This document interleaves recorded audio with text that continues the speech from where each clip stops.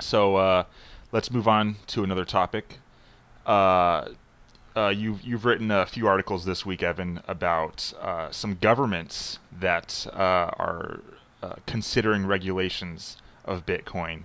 Um, Canada, for instance, has decided to regulate Bitcoin, um, while other countries have decided not to. Can you expand on on what Canada is going to do about regulations? Yeah, this uh, this week there's been a lot of regulation talk this week from you know Canada, Canada, Japan, uh, Switzerland, and I didn't write an art. I didn't get a chance to write an article about this, but um, but Sweden, the Swedish, uh, not this, not this, uh, yeah, the Yeah, Swedish uh, central bank released a report on Bitcoin, and uh, they they said that Bitcoin is really important, but it wasn't. Uh, the- you know, the the Bitcoin economy wasn't big enough to have any uh, immediate significant impact on on their on the mainstream economy, so that they they aren't really worried about regulating it. Hmm, okay. Didn't get a chance to write an article about that. But Canada, you asked me about Canada. Um, Yeah. they they're not they're not writing legislation uh, specifically dedicated to Bitcoin. They've just passed an amendment to an existing law. Uh, it's the Proceeds of Crime and Terrorist Financing Act of 2000, and um, they've Almost sounds like the that. Patriot Act from America. they've they've amended that to um, to include Bitcoin along with all the other cryptocurrencies and virtual currency in general. okay. Um, and basically, what it is is that um, the people, P- Bitcoin companies like um, you know, like exchanges like Coinbase, Bitstamp, or or RoboCoin, you know, um, hmm if if your business is uh, dealing in the buying and selling of Bitcoin, you know, you're you're not like you're not like a good seller manufacturer. You're you're a financial institution. You know, if you're one of these businesses, you have to now be compliant with um, with Canadian financial regulations. Okay. Okay. So So, it's kind of like they're they're just updating their finance laws to include Bitcoin and cryptocurrencies and stuff. yeah, Kind of the same way that America, uh, we had those Senate hearings back in November where the senators wanted to make sure that you know. Uh, if Bitcoin's fine, you know, uh, we don't need to regulate it necessarily. We don't need to uh, really write any new laws or anything, but um, we just want to make sure that the people who are operating in this space are obeying and complying with all these anti-money laundering laws and know your customer laws and stuff like that. So is that basically what Canada's trying to do in their country? yeah. The the Bitcoin companies they're gonna have to um, they're gonna have to register with uh, I can't remember the name of it. It's some bureau, you know, like financial bureau to prevent, you know, uh, financial crime and things like that. Yeah. And um, you know, there'll be like uh, licensure, registration, things like that. And so, um, and really, uh, you know, the market price reflected this. You know, really, this uh, this amendment to the legislation is not that important because um, the companies, you know, the companies that this would affect, they've already ran into this problem in in, um, in other countries that have similar legislation. So you know, they're already working to be compliant with these laws. They're used to So it. So it's not really going to have a huge impact, but um, it is pretty significant because we do have a country that's uh, trying to, you know, regulate Bitcoin. Uh huh. And it also kind of reminds me of um, what California's been trying to do in their state government lately. Uh, they just the legislature just passed um, a bill that would basically declare Bitcoin and other digital currencies as lawful money, um, meaning it's not illegal. They just want to clarify that it's not illegal because there used to be a certain statute in the Corporations Code of California um, that basically said that no one's allowed to create their own, their own currency. Hmm So uh, the legislators, you know, in California, they love the fact that uh, it's the state of technology and and a lot of um, it drives their economy basically. So the the politicians want to make sure that they be seen as uh, friendly to digital currency and the whole Bitcoin um, industry. So that's why they're kind of trying to make sure that like the law seems friendly towards it. And they're they're it's it's not even really a new law they wrote. They just basically passed. Um, uh, it's it's kind of like amending the corporation's code. They just struck out that one line that kind of makes it seem like Bitcoin might be illegal. So um, it's pretty interesting to see different governments' uh, takes on this issue and how they're all kind kind of trying to approach it with different um, different mindsets and different approaches to it. Yeah. Yeah, I definitely um I definitely respect the Canadian uh government for because you know they're they're trying to legitimize Bitcoin. You know they want people to use it. Um, so you know I, I give them respect for that, but at the same time, this regulation it's just um, overall I th- I think it's negative for for the Bitcoin economy. Really?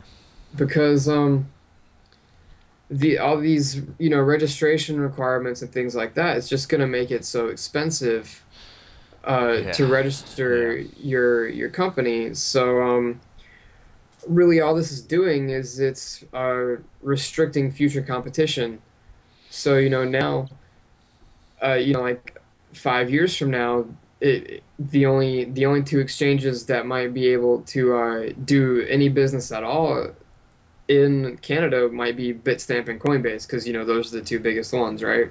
Yeah, yeah. Or two of and, the biggest and ones. Coinbase is in San Francisco, so like that's that's um what what is what does Canada actually have in terms of exchanges? Oh well, um, well, I don't know if Canada has any like uh, exchanges based out of Canada, but this um but this amendment it applies to any business uh, doing any kind of activity in Canada. So it doesn't matter where you're based out of.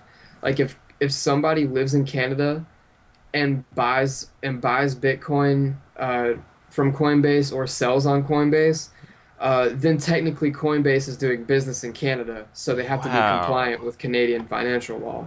Wow, that is Yeah. totally insane.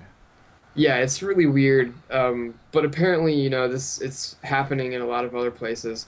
I mean, Yeah, how do they how do they expect people to to comply with that? That's ridiculous. I mean, in the age of the internet, um, you you can't restrict people like that from from from doing business with with companies in other countries. You know, especially an, a fellow neighboring country that speaks the same language as you. Like, Yeah, exactly. it's it's it's it's unnecessarily restrictive. It Yeah, sounds like. like um, you know, like like Coinbase and Bitstamp, you know, they're gonna be able to do it because they got really rich before it was regulated. But you Mm. know, five Mm. five years from now, you know, when Coinbase, you know, has a monopoly on the Canadian exchange uh, market, um, there won't be any newcomers who'll be able to afford to do this because you know they're gonna have minimum starting capital, obviously being a startup, and they're gonna have to spend all this time and money on uh, becoming compliant with the regulations. So, um, really, it's kind of dangerous because you know you, you're you're manipulating the law so that, and it's an unintentional consequence, of course, but you're restricting competition. What happens if the only exchanges who can afford to be compliant with these laws? What happens if they become the ne- the next Mount Gox? You know, yeah. that's going to be some pretty big trouble. That like that'll be pretty bad news if that happens. That would make that would make not not only the part of the Bitcoin industry look bad again with negative press, the whole Mount Gox fiasco all over again, but it would look make the government look bad too because like these are supposed to be the businesses that are regulated and are, are complying with the laws Mhm. and everything. These were the government approved businesses. Yeah, government approved, like stamp approval from the politicians, and then if it fails anyway, which it can because regulations aren't perfect and are often too crippling, then um, it'll it'll make the government look pretty stupid for having not been able to prevent that. Right, and this this is what I think about Mount Gox. Uh, you know, the Mount Gox crash happened uh, while you know this and and in the era before governments, you know, even really considered Bitcoin as you know a substantial threat. So there was you know very minimal regulation. So there you know, so there's like a million other exchanges. Yeah. So when Mount so when Mt. Gox crashed, you know you know if people were able to get their funds from Mt. Gox, you know I know like a lot of people lost everything. Um, but one, if you were able to get your funds out of Mt. Gox, you could have put them in another exchange. And two, um, there wasn't really, there was a lot of fear. Obviously, the price dropped by, uh, went from like a thousand to, what was it, like three hundred dollars or something. Oh yeah, yeah, yeah. Um, and I think at one point on Mount Gox itself, it, it said like 130 or something really low like that Yeah. when it was re- died right um, away. but you know, it, it, the people, the the people in the Bitcoin community weren't completely hopeless because they had all these alternatives. Yeah. You know, so I so I I think that if Mt. Gox was the only exchange and it crashed, Bitcoin would be dead right now. Mm. That's what Mm. that's what um, the governments who are enacting these kind of uh, regulations. That's what they're setting the Bitcoin economy up for in the future. Huh. Because Huh. um, there's only going to be a handful of exchanges who can who can afford uh, to do this, um, who can afford to be compliant. So if one crashes, uh, it's going to have a really nasty effect on uh, the confidence of Bitcoin, which of course has an effect on its value. Yeah, um, that's an effect of uh, centralization, right? Basically, having centralized um, infrastructure. If you only have a couple of exchanges, um, because of uh, crippling regulations that are put in place by the government, and uh, like that would basically serve to make the infrastructure itself more centralized. If there's a couple points of failure in the entire system, and if those get knocked out, if another Mount Gox happens again, I mean negligent management or whatever it is, thievery, whatever, uh, then take out that one point of failure and boom, you, you it, it it like I wouldn't say it would kill Bitcoin because Bitcoin itself will still exist. The network will still still exist. It'll just be really a lot harder to trade them and such. We'll be back into the dark ages, basically. Like you know, Mhm. back four years ago in Bitcoin's history. So like it, it would just it would just hurt it. It would seriously set it back. Um, you know, a couple years, and we would have to build back up again. So yeah, I think that like yeah we're we're getting to a point where people in the community, if they really care about seeing this experiment succeed, um, we need to fight centralization on all fronts.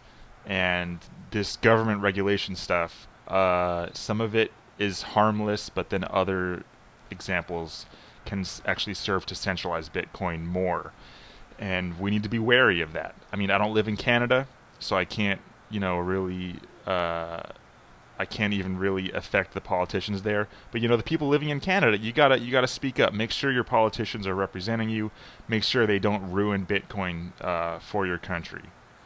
Yep. And so yeah, that's that. Those are the long term uh, effects that this centralization will have um, on Bitcoin. But right now, you know, this Canadian legislation had no effect on the price.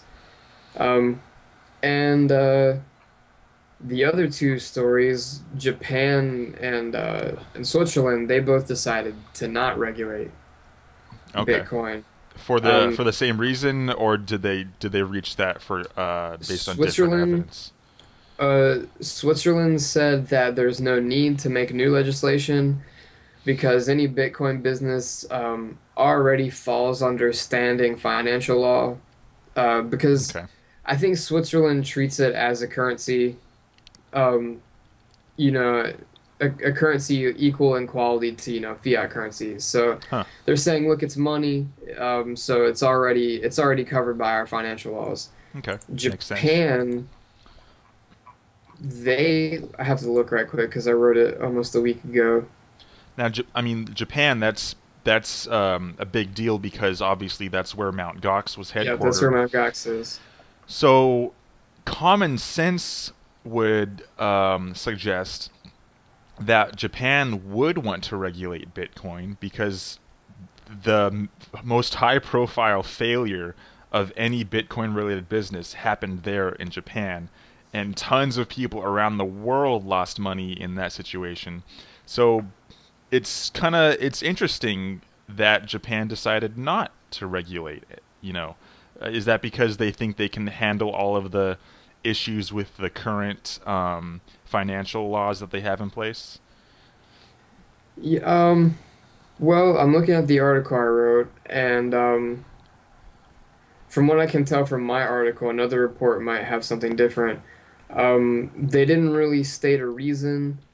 Um, basically, what happened was um, a representative from the Liberal Democratic Party, which is the dominating political party in Japan, just announced that um, they've they've been you know mulling it over, trying to decide if they want to regulate or not, and you know, and this representative from the LDP came out the other day, and he said, uh, quote unquote, basically we concluded that we will, for now, avoid a move towards legal regulation, and uh, from what I found, that's pretty much all they said. Oh, okay. Um, that's pretty still. That's still vague then, though. Yeah. You know, they could still regulate soon if they wanted yeah, to. but for but for now it's going to remain unregulated and um, it could be for the same reasons. Maybe they're maybe they're getting ready to say that well, you know, it's it's money, so it it's already covered by our financial rules. Yeah. Um but maybe also they just don't I don't know why they would think this because Mount Gox is such a huge deal, but maybe they just think that Bitcoin really isn't important enough to warrant uh, regulation. Yeah, yeah. The, I mean, like, I can see regulation actually having um, a positive impact on. Um, well, what what what regulation is supposed to do, ideally, is prevent bad people from, you know, screwing you over. Uh, like Mark Karpeles, you know, this guy, either through negligence or through you know backhanded thievery, um, everyone's coins vanished from Mount Gox, and now he's going through court proceedings to uh, try and declare bankruptcy for Mount Gox and everything. Now, if the government actually wanted to put smart regulations in place, they would put something in place where they could possibly um, hire like forensic investigators to analyze the the blockchain and try and figure out exactly where the Gox coins went. Um, now, we already have some people trying to do that online on on on Reddit and such, trying to do you know uh, armchair investigations into the blockchain. But you know, imagine imagine um, a, a, government like Japan actually investing some hard money into trying to analyze the blockchain. All the information is there that you need, and investing enough to analyze it and figure out exactly what Mark Karpeles did with those coins. Now that that would be some really interesting uh, regulation that could really help uh, the the case. You know.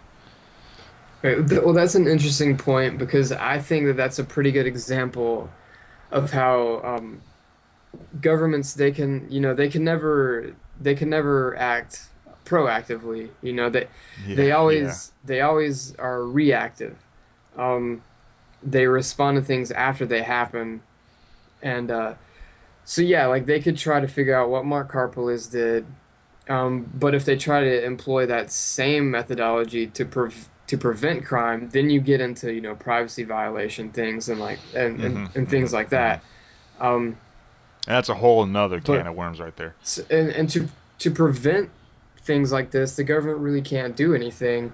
Uh, so what they do is they just um, and plus, you know, they're they're a monopoly. The governments don't have any competition, so they're they're only worried about uh, getting votes instead mm-hmm. of like you know actually solving a problem. Mm-hmm. So what so what they do is they um so they just remove any risk. You know, like we re- we recognize Bitcoin is very dangerous, so we're gonna have this um we're going to have this government backed insurance fund where if you lose anything on an exchange, we're going to refund you. You know, so um, they basically pretty much all they can do is remove personal responsibility which makes things Mm. worse. And Um, and they would do that because that would get them more votes from the population who don't want to think Yeah, for oh, hey, themselves. The, gov- the government cares about us. They're gonna give me money if I lose my if I make a bad choice on Yeah. the Bitcoin exchange, so I'm gonna vote for them. But you know, really, the only way the problem is gonna get solved is um, competing exchanges trying to uh, satisfy their customers and make them feel safe. Um, and so they're going to do things proactively and solve problems before they happen uh, which is something that is unique to the private sector. The government can never do that because they don't have that kind of foresight. Um, Because they, because they only, they only rea- react to things after they happen, because they respond to the reactions of people. Right? Private Yeah. sector companies, they they're able to solve problems before they happen because their job is to uh, is to create things that people want before they even know that they want them right that's how entrepreneurs make profit Yeah. so so their goal is not to respond to the reactions of people is to make sure that the people don't have these negative reactions to begin with Yeah. and and that's just something that the government has no interest in doing Damn. I mean, yeah, that's yeah, that's unfortunate. You know, I I think uh, a lot of people um, kind of go about society with the assumption that the government has their back, or at least has the intention of having their back. You know, and that that it will protect them. But um, it's a it's a it's a bloated bureaucracy. I can't speak about Japan specifically, but I know here in America, it's ridiculous. The bureaucracy is insane, and yeah, it's um, Yeah, it's it's hard. It's it's it's hard for those agencies to have foresight when all they do is react to problems that that have happened in the past. So, yeah, it's maybe maybe decentralized um, infrastructure will eventually help make governments more efficient. That's uh or irrelevant or or irrelevant. yeah, yeah, that'll uh that'll that'll probably happen. They probably won't like that though. They don't they won't No. like feeling irrelevant. they'll fight that definitely